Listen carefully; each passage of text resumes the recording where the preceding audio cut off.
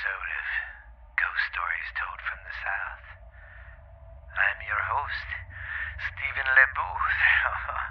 I've got some creepy stories for you today. I'm going to talk about some scary haunted lighthouses. So beautiful. okay. Hope everybody's doing good, but this is Ghost Stories Told from the South. I am your host with the most, baby. Stephen Booth. I hope everybody's had a good spooky season or a good spooky uh, holiday. Hope everybody had a great Halloween. Mine was great. Had a Halloween party Saturday. Went trick or treating Sunday, and yeah, I didn't record this last night. My son had a a uh, play he was in. Went to that. Didn't really have time to get this, but I got the research done and all that, and I'm here to present it. Hope everybody's ugh, hope everybody's doing great. It's just uh, cold and rainy here, so hope your end's a little better. But this is perfect spooky weather. It's cloudy, gray, misty, rainy off and on, and it's cold. It's oh, I got some chili in the crock pot, so I might be breaking here and there to go check on it. But well, hope everybody's having a great week. But let's get down to it. Oh, and I do want to give a shout out and say thanks to everybody. I don't know if I told you, but we hit over 3,000 downloads. That's awesome. Been doing this for a year and a half and already got uh, over 3,000 downloads on one podcast. I love it, guys. Just want to say thanks to everybody. Oh, and sorry I'm late getting this together, too, so. Anyways, we're uh, we're gonna cover lighthouses. I was uh, talking to Lexi, and we ain't never really covered lighthouses a whole lot. We might have done one here or there, but we never really done a whole lot of them. So I'm gonna cover lighthouses for a while. They're spooky this time of year. All right. I'm gonna go with the TB Lighthouse. Yeah, Tybee. Yeah, okay. The Tybee Lighthouse was first built in 1736. However, several violent storms and shore erosions caused the uh, caused its Georgia lighthouse to become a structural structurally unsound. As a result, the lighthouse was oh the house the, the lighthouse was immediately rebuilt. Over the years, instant uh, weather and erosion did away with the lighthouse. Uh, a couple oh more erosion and stuff made more of it go away and it happened more times. And then the lighthouse that stands today is actually the fourth one in Tybee on Tybee Island. So apparently here they have a hard time keeping their lighthouses uh, to stay up. Well, because of weather, corrosion, and they're right there by the ocean. So yeah. So that's the fourth lighthouse. I bet you that thing's got a lot of stories. Well, let's see what it says. Many people who visit this scary lighthouse have reported hearing disembodied sounds such as a phantom whistle and the sound of an unseen uh, of unseen feet. So you can hear feet running through there, or like you know pitter patter of feet. A few people have even reported seeing the apparition of apparition of a five-year-old five-year-old while climbing the stairwell. The ghost girl who wears historic clothing warns visitors not to go any further up to the staircase. Some paranormal investigators have theorized that the uh, girl may have purchased, or purchased one of the previous Tybee lighthouses crumbled to the ground in a storm. so basically, what they're saying is this girl was probably because there's no reports of a girl dying in this lighthouse, but maybe she was in one of the other ones that crumbled, and there's no record really. You know, because I guess once a building collapses and falls, you don't really keep much of the records on it anymore. Huh. So they just. Oh well. Yeah, sounds like a creepy one. It's in Georgia. It's called the Tybee Lighthouse. Okay. What do we got now? The Owl's Head Lighthouse. The Owl's Head Lighthouse overlooks the beautiful Pensaco, Pensaco, Scott Bay in Marine, oh, in Maine. So it's Prince. Anyways, it's in Maine. The area surrounding the lighthouse has been established as the uh, Owl's Head Lighthouse State Park and is protected from the development. Oh, that don't make any sense. Anyways, it's a the Owl's Head Lighthouse State Park, and it protects the uh, lighthouse. It was uh, first the lighthouse was first built in 1825. So this is a state park. So yeah, that's what I was trying to say under all that mumble I was trying to talk. Sorry if I sound like Forrest Gump tonight. Trying to read to you. I'm like boo boo boo boo. Anyways, let's go with um. Okay, now we got. You can uh, also hear. Oh, there's historical records have been written about a 13-year-old girl once lived in the lighthouse while her parent while her parents one morning with her uh, okay she lived in the lighthouse with her parents. One morning the girl woke her parents up forewarning them that a dangerous frog was about to roll into the bay. Oh oh i'm sorry i read that wrong. A dangerous fog was about to roll into the bay. When her parents asked the girl how she knew the fog was coming, she informed them that she had an imaginary friend. Her parents discovered that the imaginary uh, friend was, in fact, the ghost of a former sea captain. Hmm, pretty interesting. So the ghost was warning them. But how would it be poisonous?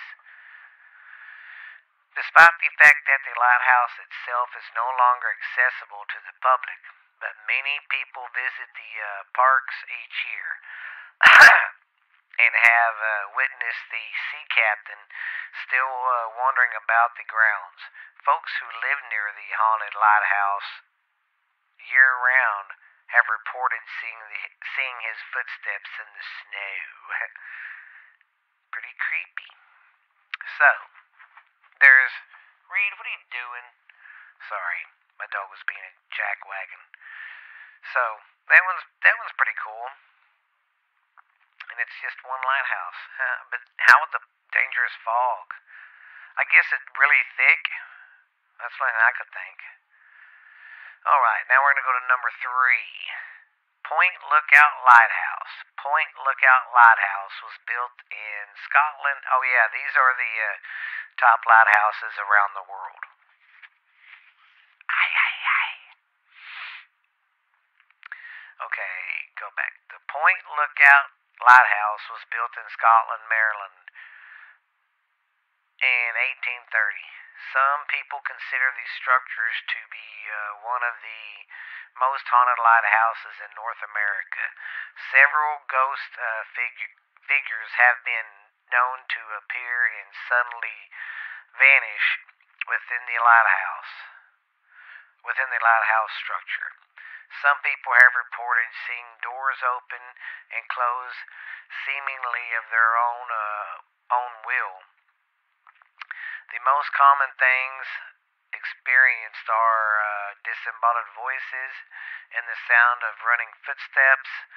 Some researchers believe that Point Lookout is a uh, frat, freight with so much activity because a hospital and a prison camp for the uh, Confederate soldiers had been erected and used near the uh, premise during the the grounds during the Civil War, or so that place has a lot of history. Hmm. Now we're gonna go to. Now this one's another tongue twister for me, but I'll promise not to mess it up. Okay, eh, this is the Sewell Chokshi Lighthouse. The light oh the in 1892 the lighthouse uh, over was constructed and overlooks Michigan at Sewell Chokes Point today. The structure is available for tours from Memorial Day through mid-October. The houses where the lighthouse keepers once residence has now been uh, converted into a museum. That's awful nice of them.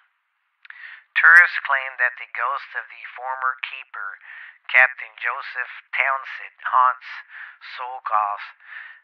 He died in the keeper house during the early 1900s.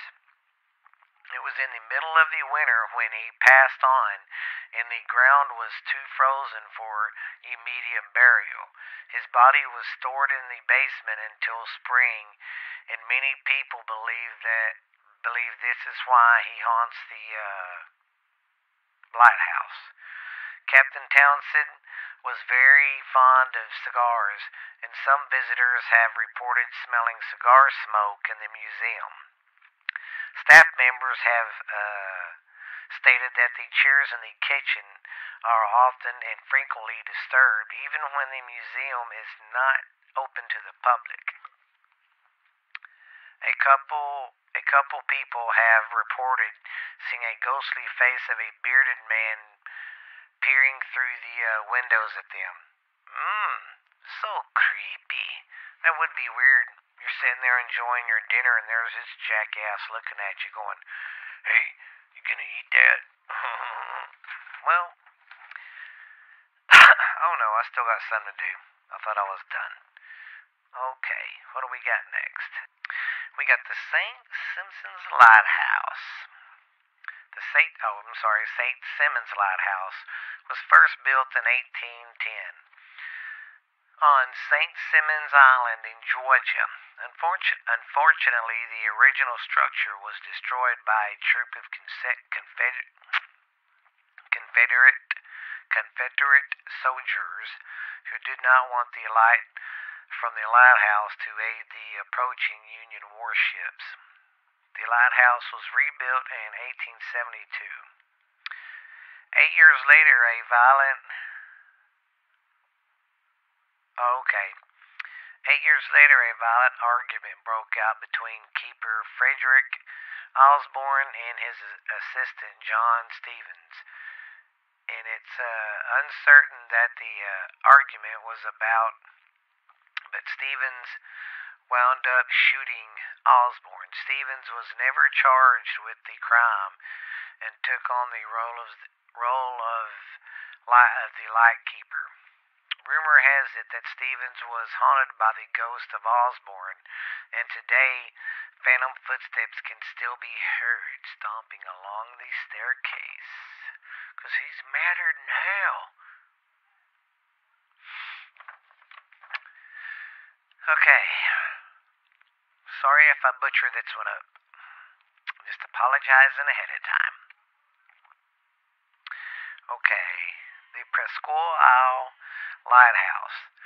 The Pasquale Lighthouse was built in 1840 on the shore of Lake Huron, Lake Huron in uh, Michigan. Thirty years later, another lighthouse was constructed nearby the original excuse me, Pasquale Lighthouse lay abandoned for three decades. In the early 1900s, the Stebbins family fell in love with the old structure and lovingly restored it. They lived in the keeper's house and gave tours of the original lighthouse to the public. After the Stapleton, the Stebbins family passed away, the lighthouse remained open for tourism until Georgia and Laura Parris took over managing the property sometime in the 1970s. Georgia was one of Georgia George was known for being being fond of children and enjoying nothing more than delighting them and their families while giving tours of the lighthouse. As the lighthouse had as the lighthouse had not been used to serve boats in a long time, the Coast Guard removed the wires to its uh, lighting system in 1979. Eventually, George passed away, but Lorraine became to suspect to suspect that her husband's ghost remained at the lighthouse. George and enjoyed George enjoyed making elaborate breakfast each morning, and Lorraine often woke up to the smell of bacon after he had passed on. She felt her suspicions suspicious was confirmed when the light of the top of the lighthouse would somehow turn on, even though it should not have been possible. But members of the Coast Guard and the National Guard witnessed the strange phenomenon. Not long after, a girl ventured to the top of the lighthouse, and when she returned, she told the she told her parents that a ghostly woman had made her laugh while she was on she was at the top. Upon seeing a uh, portrait, George Parris, the girl said he had been the man she had seen in the lighthouse. Mm, he was up there making her giggle crazy old man. Now we got the Fairport Harbor Lighthouse, or the Fair Fairport. The Fairport Harbor Lighthouse is located near Lake Erie in Fairport Harbor, Ohio. Both the lighthouse and the keeper's house house oh keeper's house were originally built in 18, uh, 1825, but had to be rebuilt in 1871 because of structural issues. The lighthouse was uh, used until 1925, and it was overseen by two keeper two keepers in particular who have historical significations. I'm not done yet. I've got more. This is this is the continuation. Samuel Butler was the first keeper. Butler was deeply involved in the Underground Railroad and used the lighthouse as a safe house for runaway slaves who attempted to flee to Canada. Several decades later, Captain Joseph Babcock and his family managed Fairport and Babcock, was deeply devoted to his uh, job. While he, while he was keeper, his son operated as he oh as his associate and would later become a keeper himself. Babcock and his family had two children while living at Fairport, but one of them died of uh, smallpox when she was only five years old. Mrs. Babcock eventually became bedridden due to illness and kept many cats on the premise as a means of uh, entertaining herself. Okay, right there's where I was.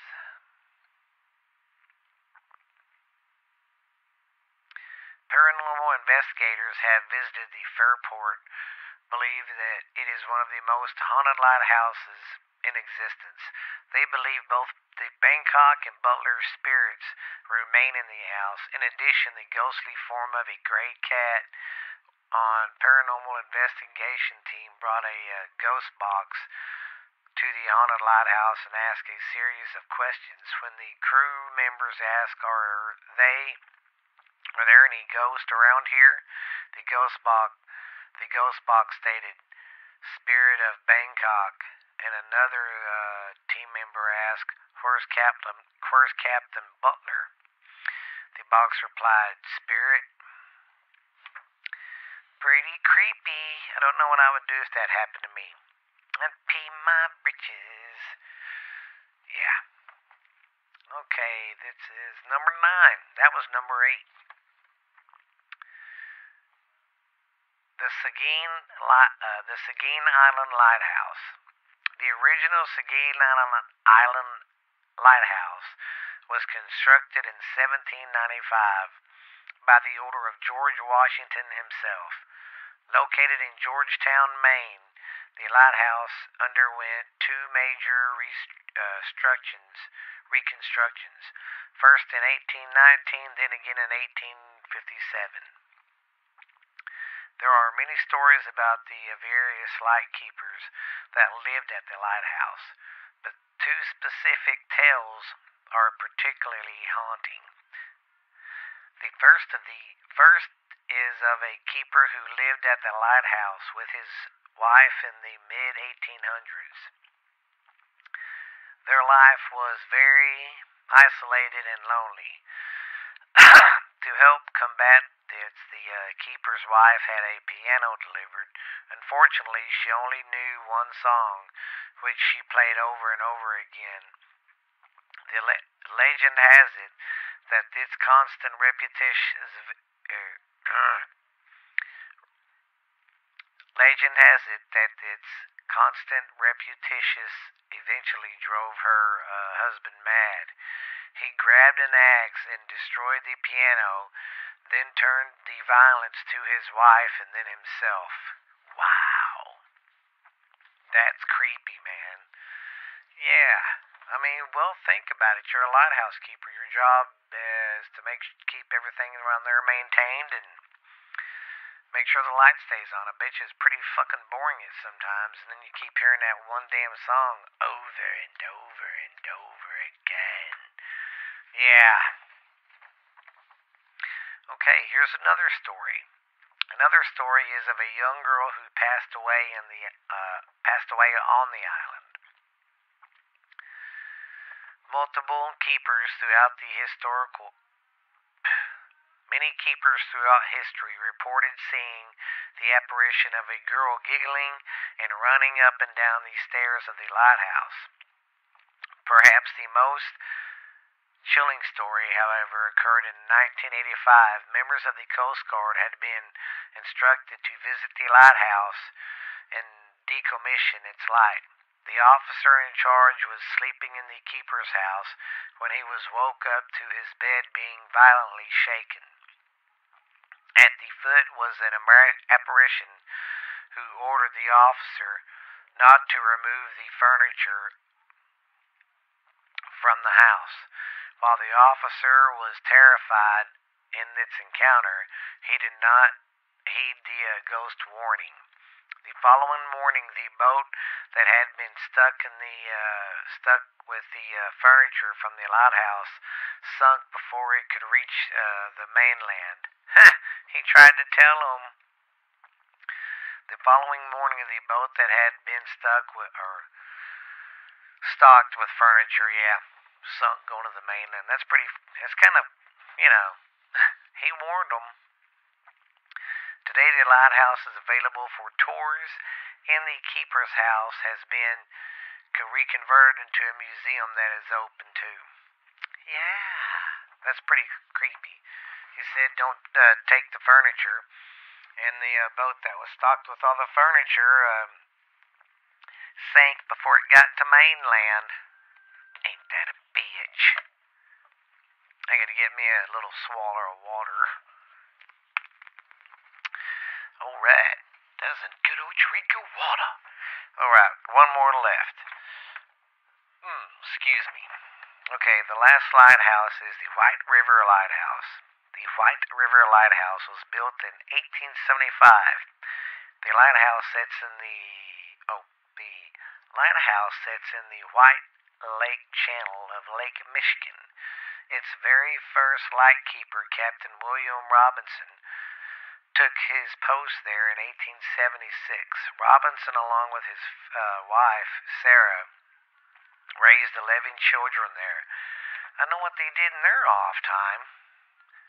They raised 11 children within the keeper's house. In fact, the uh, Robinson family loved the lighthouse so much that they had worked there for 40. Whoa, what? They worked there for 47 years. Robinson was 87 years old when he finally decided to retire. Dang. He died in the keeper's house the night before he was set to leave the uh, leave the uh, grounds for good. Wow, 87. He goes to retire. He's like, yeah, I'm done. I gave it my all. And then he fucking dies that night before he's supposed to leave the island. How crazy. Well, at least he died at his happy place. That's always nice. Okay. Now, here's what I did for my next stories. These are what I'm going to do. I read, you know, the list of the top uh, haunted uh, lighthouses in America. So now I'm going to break them down and start with number one and work my way down. How does that grab you, my skilly little friends? Yep, got I got one, two, uh, one, two, three. I need to learn how to count because I don't. Oh, no, that's five. Where is? Well, yeah, I need to learn how to count because I don't see that. But anyways, I got four stories for you. Four stories, all is well. Hmm. I don't know what I did with that one. Yeah, 'cause that's a tilly-ta, tilly-too, tilly-ta. All right. Anyways, I'm gonna. I got four stories to tell you, 'cause like I said, uh, they were the top ten lighthouses. I'm gonna break them down and get on in with this. So,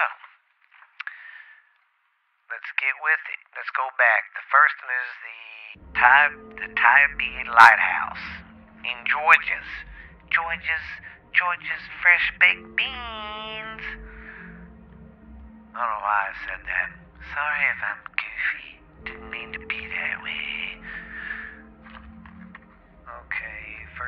Tybee Lighthouse.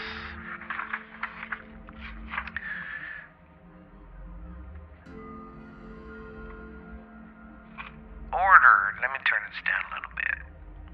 How's that grab you? Yeah, that's good. Ordered by General James Allendorf, governor of the 13th colony in 1732, Tybee Island Lighthouse has been guiding marine safe entrance into the Savannah River for over 285 years. The Tybee Lighthouse Station is one of the one of America's most in, intact light stations, having all of its historical support buildings still uh, in, intact, still up. Uh, rebuilt several times in the current lighthouse displays its 1916 day mark with 178 steps and a first October seasonal lens. Oh, it was the first kind of lens, first lens like that. Hmm. Under the direction of Noble Jones of Warrensall plant of the Warrensall plantation, work began on work began the first day mark built on Tybee. It was constructed in 1736. It was um, octagon shaped, and it was constructed of brickwork and cedar piles. Standing 90 feet tall, it was the tallest structure of its kind in America at that time. Unfortunately, storms took their toll on the Tybee's first day mark. Five days after the completion, a new day mark was. Oh, a new day mark was commissioned. While work was progressing on one day mark, a storm swept the old day mark away in August of 1741. In 1742, a, a second day mark built on Tybee was completed. It was uh, described by Optagon, an as much as the best building of the kind in America. It was different from its procedure standing 90. I just fucking read that, didn't I? Well, god dang, I sure did. Okay. I need to stop. Went back. See, that's what I hate when I'm talking and I lose my place. Anyways, okay. In 1768, the sea lapping at the uh, foundation of the day mark, the Georgia Assembly Authority, the new day mark, the lighthouse. This the site will removed from the sea was chosen, and the building was completed in early 1773. The new lighthouse was uh, ceded to the federal government from the colony of Georgia in 1790. The United States Lighthouse Establishment established them take over the operation of the day day-to-day stuff. And in 19 in 1791, the 100-foot tall brick wooden structure was lit while spectator candles uh, with the spectacle candles for the first time. In 1871, that's wood, the wooden staircase, the wooden stairs in the top 40 of the uh, tower were destroyed during the Civil Civil War when Confederate soldiers was uh, trying to blow it up, you know, hit it with cannons, and it set fire to the tower to order a prevent the uh, Union troops from, you know, using a light to guide their ships in. After the Civil War, the lighthouse establishment began work on rebuilding the uh, lighthouse. The lower 60 feet of the old lighthouse was still intact and was decide, uh, decided to add the uh, existing structure instead now. The lighthouse is now the first older station consisting of masonry and metal only. It was completed uh, foolproof. This lighthouse still stands today, and it's very haunted. Uh, I hate that. My pages are stuck together, and it's not because of what you think. Oh well. I got some more stuff on it. The lighthouse is actually the fourth lighthouse. Basically, at first, it's all the bullshit I was talking about. That's why I skipped it. It was uh, built. Re- it was uh, built four times. Uh, the spot, past three were destroyed by uh, storms and shore erosion. People have reported seeing figures dressed in uh, lightkeepers' clothing and a five-year-old little girl warning people not to go into the lighthouse. Others have reported hearing whistling and other sounds too. Pretty creepy, guys. I would love to go visit an old lighthouse. Oh, ice house. An old lighthouse. I think that would be pretty rad. Alright, my next story is of the Owl's Head Lighthouse. Ooh, this one's in Maine. This one's going to be pretty cool.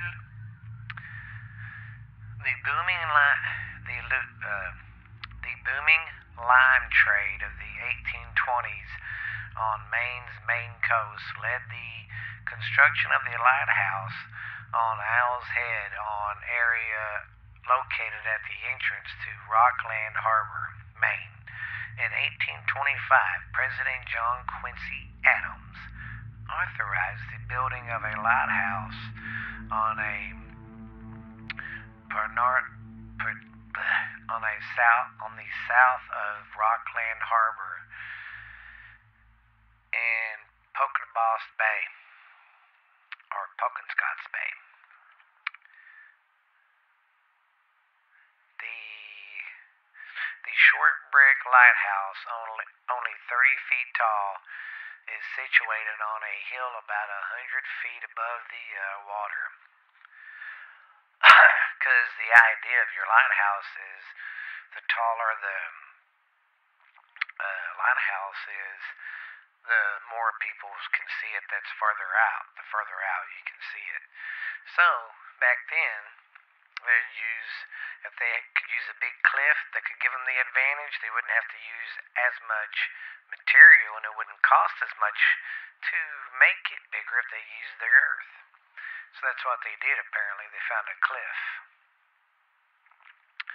And it's at 100 feet above the water. So it's about 130 feet above the water. That was, man. See, and I'm afraid of heights. I don't know if I could do that. Walk up there in a lighthouse. Ooh. Much less the haunted lighthouse. A tall light, a tall lighthouse was unnecessary because of the height of the uh, cliffs. The uh, present brick tower was constructed in 1852 and was fitted with the fourth order uh, Fres- Fresnel lens. The tower remains relati- relatively unchanged from the time when it was first built. Besides its unusual short height, the lighthouse also has a long, serious wooden steps leading up to the lighthouse from the keeper's house, which is a quite unique to its uh, house. Original lamps and reflectors were replaced by fourth order Fresnel lens in 1856. The lens remains in use today. The lighthouse was fully uh, oh is full oh, is fully uh, automated or became fully automated in 1989 and contains to shine. It's the uh, if you can it can be seen up to 16 nautical miles away to this day. Because of its lighthouse, it's located in a region that is partic- particularly prone to fog. The light is equipped with a powerful fog signal. The original name of these of the owl's head is somewhat a mystery. Some have suggested that the uh, that the uh, panoply where where the lighthouse sits on the property where the lighthouse sits looks like an old owl from the water. Others say owl's head is the English English translation of the Indian name for the location of Mandakat. Mandakat. Yeah. Get out of here.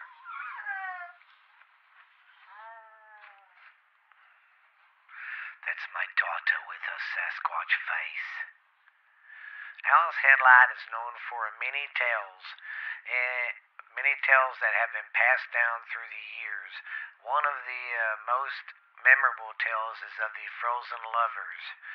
The area was hit by a massive storm on December 22, 1850, which caused five vessels to go under, and one of these was a small, uh, a small schooner whose captain had some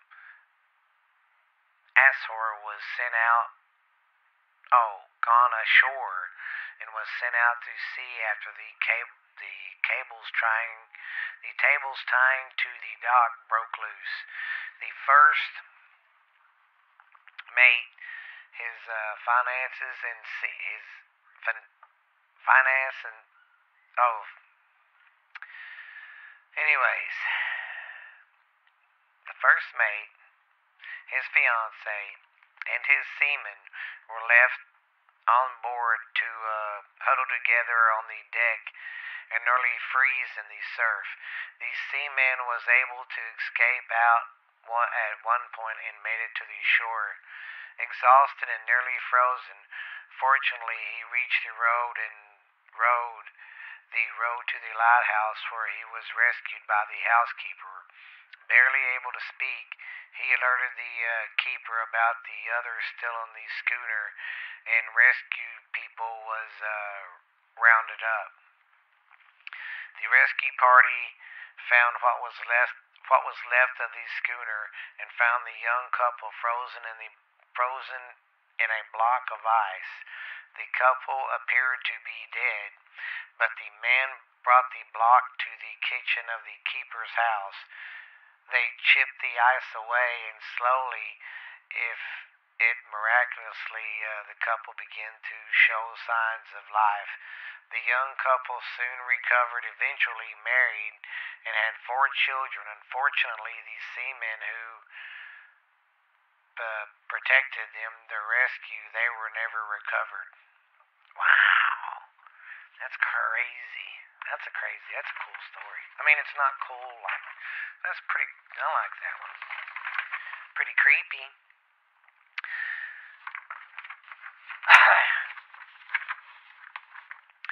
A second tale is of the uh, keeper's dog who lived in the lighthouse in the 1930s. This dog, the dog's name was Spot. He was trained to pull on the uh, fog's bell rope when he heard a boat approaching. In one incident, the rope. Oops, sorry. The rope was burned and was buried in the snow, and Spot was unable to ring the bell. Instead, he barked continuously until he heard the approaching boat's whistle beyond the rocks. Spot's loud barking has been credited with the uh, warning to warning the captain just in time to steer the boat and avoid the